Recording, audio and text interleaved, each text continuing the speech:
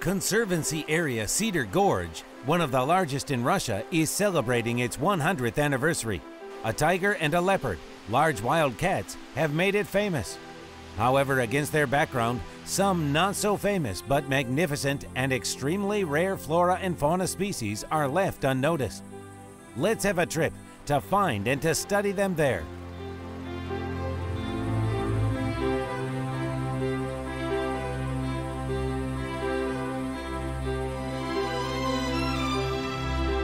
You can find a lot of paradoxal and surprising things there. For example, the most poisonous local snake is called a water snake. Yes, just like the harmless snakes with yellow spots on the head which you can meet in the European part of the country. The local people are quite tolerant to snakes. They don't try to hit copperhead snakes as people in central Russia do when they see a viper. More than that, they are positive to wood snakes. Anyway, I'd like to have a look at the most poisonous snake here in this region. Unsuccessful so far. We managed to detect and catch a Chinese tiger snake unexpectedly as usual. Well, we were sure that sooner or later we would meet it. But you never know which path to take and under which tree to look to hit the jackpot. That's the whole point of any forest trip. A lake. Does it mean that you can meet not only Chinese tigers, but Chinese tiger snakes here as well? Well, sure. In fact, there are a lot of different types of living creatures and herbs whose name contains the word tiger. Lily, for instance. Well, everything striped is tigers somehow. Yeah. And all spotted is leopards, correct? Oh, often so, yes. Its poison is very toxic, but unlike a copperhead snake, it doesn't use it for self-defense. Well, what if we would make it angry? Well, to do that, you need to put your finger into its mouth, and all such cases are a matter of statistics. In general, Rhabdophis includes water snakes. No, we call them genus keelbacks, but the scientists don't use such a term. They use genus Rhabdophis instead. It means tropic snakes. Colubrid snakes are the largest bloodline, including half of the snakes in the world. Starting from harmless water, grass, and wood snakes, up to mortally poisonous boomslang and Kirtland snake. So keelbacks, just like this Chinese tiger one, are not so close relatives to our dice and water snakes. Well, as far as I understand, this guy tries not to bite because it is not used to doing it for self-defense and uses the poison to hunt, correct? Yes, absolutely. It needs some poison to kill frogs and toads. A kind of obligatory amphibia eater. Well, it's a nice creature. Remember, you must not show too much familiarity dealing with any snake, even if it's not a poisonous one. If you happen to keep a snake with poisonous back teeth in your hands, remember that any careless movement can be a mortal one, as we have a lot of protruding parts in our body which can be hit with a poisonous tooth. I heard that they made a serum somewhere. The Japanese make a serum indeed. They consider it to be an extremely dangerous poisonous snake. Just like our snake doesn't look like a Chinese tiger one, the other Far Eastern flora and fauna species differ from their Western European relatives. At the same time, that biocommunity is absolutely unique. On the one hand, tropic animals dwell here. I mean a tiger, a leopard, and poisonous keelback. On the other hand, you can meet some animals typical for the north, including a musk deer and a brown bear. No wonder that amazing flora habitat has been formed there, and you will see some plants which you will meet nowhere else. In that way, Ussuriland is a kind of bridge between taiga and jungle. Cedar Gorge received its conservancy area status at the beginning of the 20th century, when extended cutting trees and forest fires led to significant deforestation. Cutting trees, hunting, gold mining, and lime burning had been strictly prohibited. It may sound strange, but cedar, despite the name of the area, is not the most common local tree. By cedar, we often mean Siberian cedar or Pinus sibirica. This one is a regular cedar, and that one is Korean pine with bigger cones and seeds. Well, a cedar, a cedar grows in Lebanon and in Tibet, to be exact. Well, yes, it's clear. Well, yes, generally speaking, all these pines are cedar ones. Yes, it happens so that some peoples called called a cedar the most valuable tree they had. And of course, a Siberian pine is called a cedar here. A regular pine has two needles in a fascicule, and Siberian dwarf pine and Siberian pine has five of them. Such pines are called five needle pines. A lot of birds and animals adore ripe cedar nuts with soft and sweet kernels.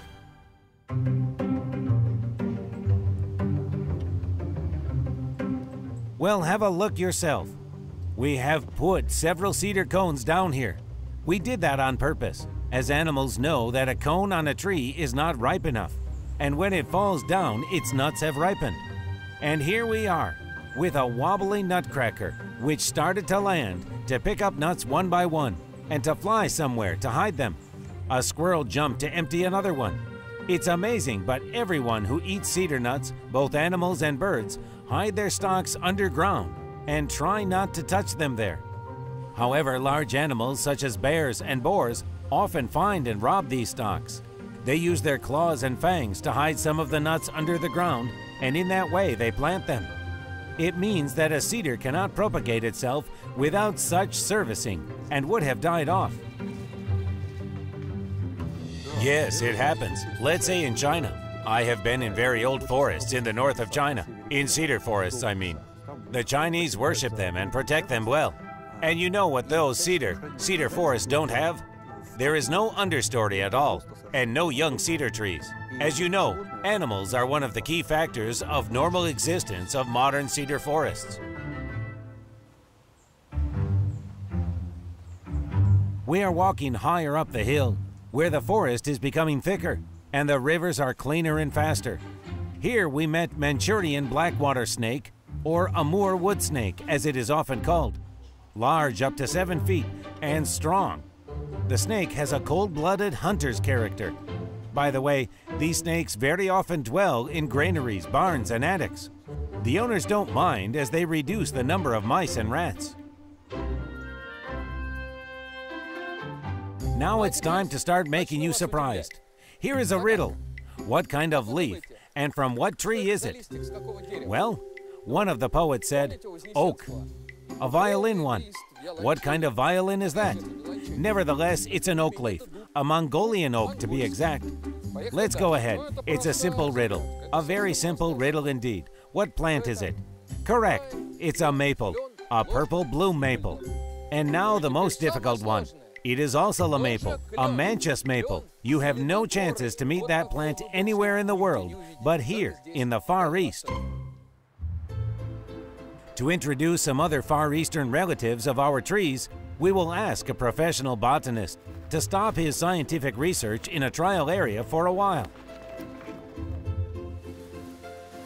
Have we come? What tree is that? It's an iron birch, the endangered plant in the Russian Red Book. A white birch behind my tree, as a poet once said. It's black and doesn't look like a birch. It's wet. Look here. Ah, it's lighter here. Yes, indeed, it's ashy gray from that side, and even its cortex is softer here. Yes, yes. Well, birch bark is usually soft. Yes. It's iron because of the wood density, correct? Yes. The wood is highly dense, and that's why people used it for their needs. So it became extinct, and now it's in the Red Book. It's an extinct plant, which grows mainly in that region in the south of Primorye region. Well, when you look at the leaves from the bottom up, you can tell that it is a birch tree indeed. Yes, But you can never tell looking at the trunk. yes. Okay, let's go ahead.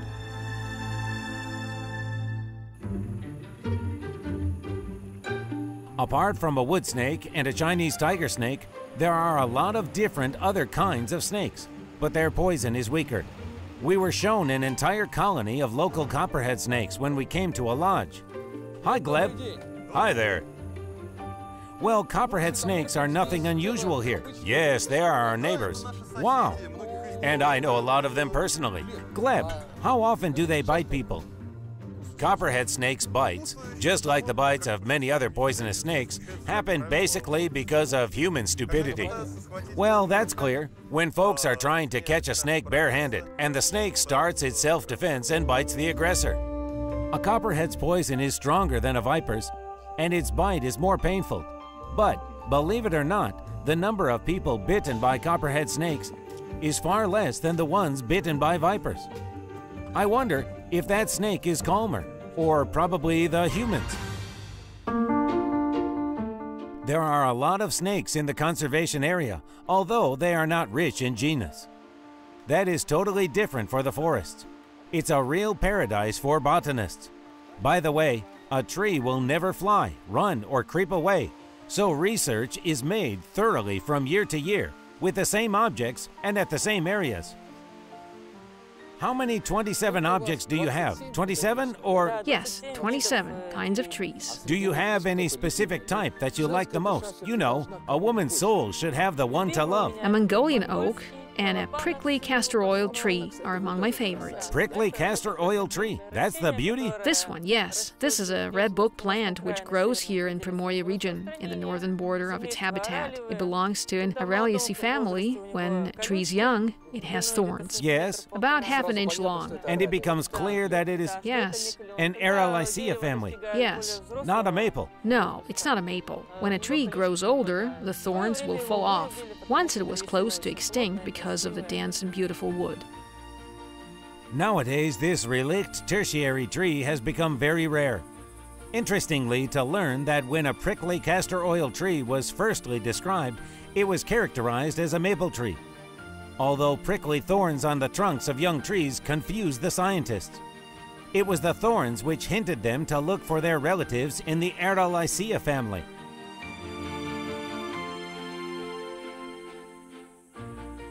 Here is the Araliaceae itself. The entire family, including 46 genera and countless number of kinds, was named after it. Here is the Manchurian Aralia, or thorn tree, or devil's tree because of its formidable appearance. Legendary ginseng is the most famous kind of the Araliaceae family.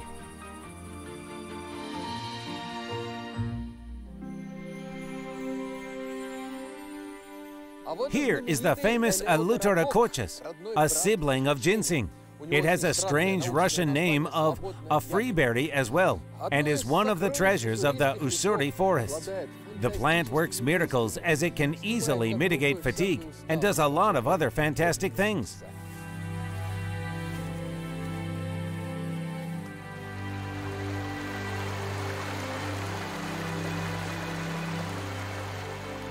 Seasonal rainfall is a characteristic feature of a monsoon climate. Although long showers making rapid rivers boil with the following flood is common here. This time they upset our apple cart. It seemed that life in the forest stood still, as if waiting for the sun to help to come to the normality after the devastating flood. The Primorye forest is surprisingly generous. No matter which kind of grass you run into, it will be a famous healing herb. Any tree will be a valuable kind of wood, and any liana will bring you delicious and healthy fruit. Have a look at a magnolia vine, an actinidia, a ginseng, grapes, Amur cork tree with cork crust and Araliaceae herbs. Well, it seems that the weather is coming back to normal and the sun is shining. Tomorrow, all the living creatures will leave their hideaways. Of course, the local living creatures have gone nowhere. They have simply hidden, looking at us from everywhere and laughing. Wow, you can pass by and fail to notice it. What a wonderful camouflage. This butterfly belongs to the family Geometridae and is called red underwing. Doesn't look like one, huh? Right now, magic for you. Have a look. Now, now, beauty, put your upper wings at shoulder length. Come on, come on. Show your beautiful lower wings. Here they are. And they really look like red underwings. What does the butterfly need them for?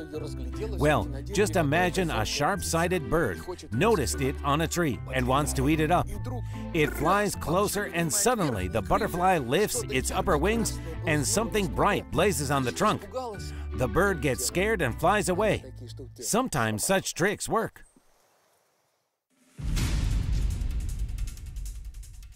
And here is the creature with whom a butterfly can do nothing. Sooner or later, it will leave its hideaway on the trunk, flap its wings, and can be easily caught with a treacherous and sticky spider's cobweb. Oh, what a beauty! Once upon a time, there lived a woman in ancient Greece, Arachne by name. She was extremely good at weaving. So good that once she decided to compete with the goddess Hera.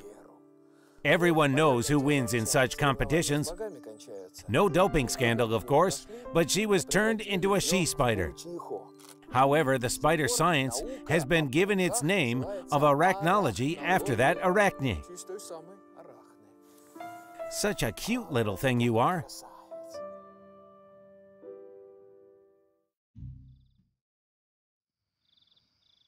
These are such snake-like creatures, from small to gigantic, which are not dangerous for humans.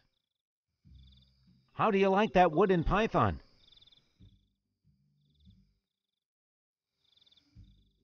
Well, such lianas do not grow in European forests.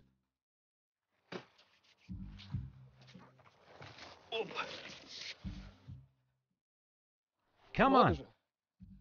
Here I am. I am standing on a bower actinidia, which we call spicy. Why do we call it so? Well, everyone knows the fruit of actinidia chinensis, or Chinese gooseberry, which are kiwi fruits. We buy kiwi fruits in grocery stores. That's a different kind of plant, with smaller but spicier fruit. That is why we call it actinidia spicy.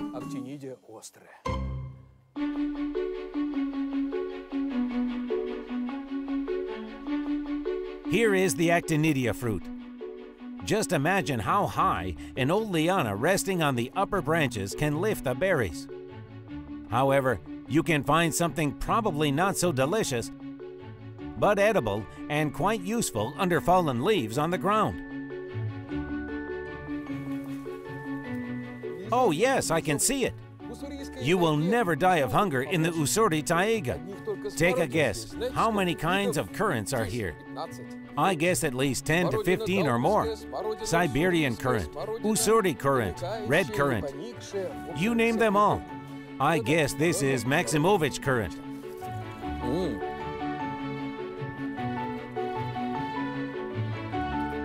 It's delicious.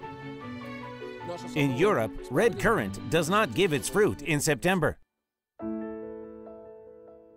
The local kinds of current, took part in creation of the European ones. On the other hand, neither of the local kinds is good enough to be domesticated outside its habitat somewhere in the West. That's even better. Introduction, a scientific term for growing plants outside their habitats. Experiments sometimes bring poor results. There have been plenty of such negative attempts made with the Far Eastern flora and fauna. Right now, people in Europe don't know how to get rid of that terrible weed, which has occupied a great area there. It's hard to believe, but some 200 years ago, that plant, which is considered to have been ornamental, cost a fortune. The point is that until the end of the 17th, the beginning of the 18th century to be exact, Japan was isolated from the rest of the world. Hence, all the plants exported from that country cost a lot. That's the way Japanese knotweed, or sakhalin, was introduced to the Europeans. Later, it bred in such large numbers that they still don't know how to get rid of it. Scientists call it an invasive species, as it can grow in such a great number that it becomes impossible to count.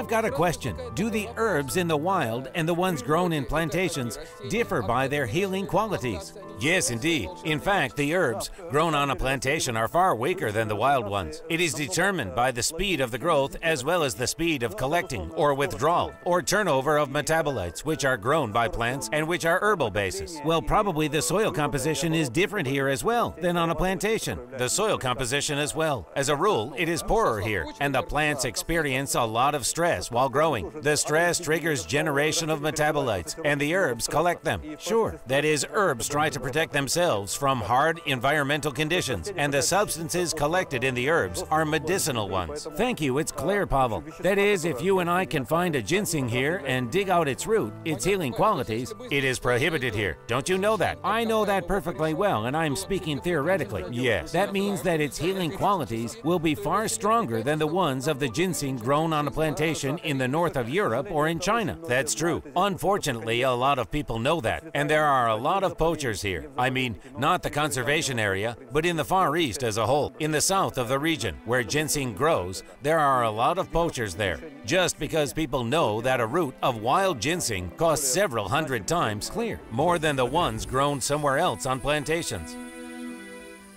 It seems that Mother Nature can provide us with a good chance to grow an extremely valuable raw material along with different herbs. We don't need to cultivate ginseng monocultural fields as if we grow corn or potatoes. It is more efficient to grow that herb in the wild underneath trees with valuable wood winded around by fruit-bearing lianas. That's the way to grow a real valuable herb, maximally close to its wild siblings.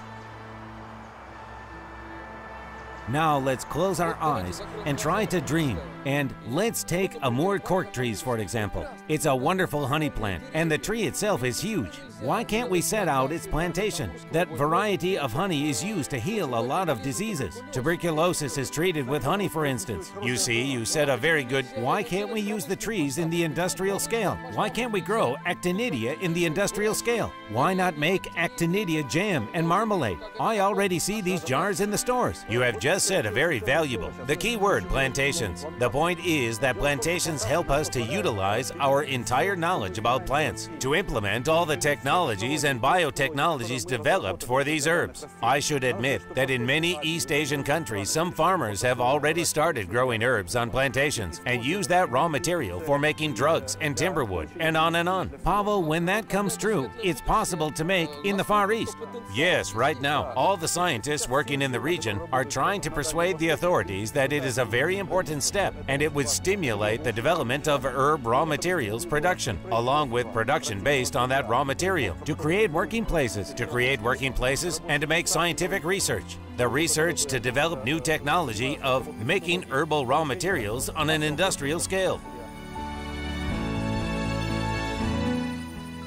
What we are discussing now is a matter of future. The point is that only plant cultivating technologies have been changed for the past couple of centuries, but the number of plants hasn't been greatly enlarged. The wild plantations where a lot of useful herbs are grown altogether are made only on trial fields. The Far Eastern nature is a real treasury. Unfortunately, we are used to a different way of dealing with it. We kill, catch, dig out, and take away what we can. However, if we get rid of that filthy habit, if we start setting out plantations and growing herbs, plants, and animals, and develop new varieties there, then we will use such plantations for ages. And, which is vitally important, without causing any damage to the environment. However, it's a matter of future. Hopefully, of the nearest future.